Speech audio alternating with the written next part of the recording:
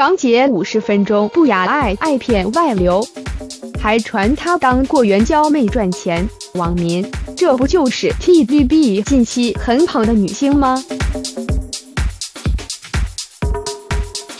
现在流行泄露短片摆上网，最近网络世界好精彩，各种不雅性爱短片相继浮出台面，娱乐圈也不例外。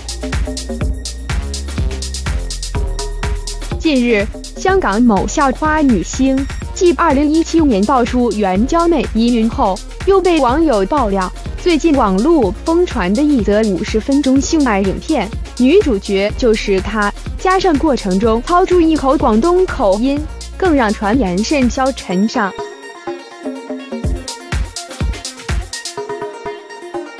据港媒报道，四月底起，接连有许多网站。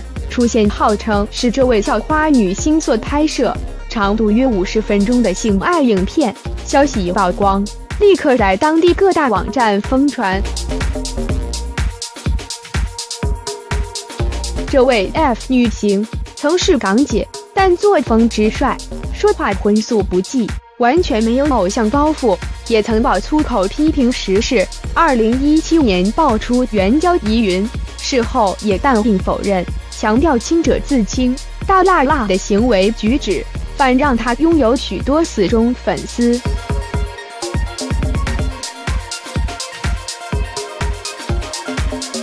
校花女星爆不雅片外流，在香港各大论坛疯传，已有铁粉帮忙找真相。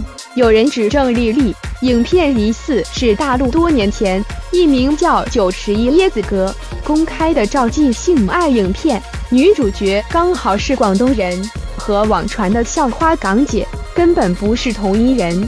也有人跳出来佐证，这不是好久前的片了。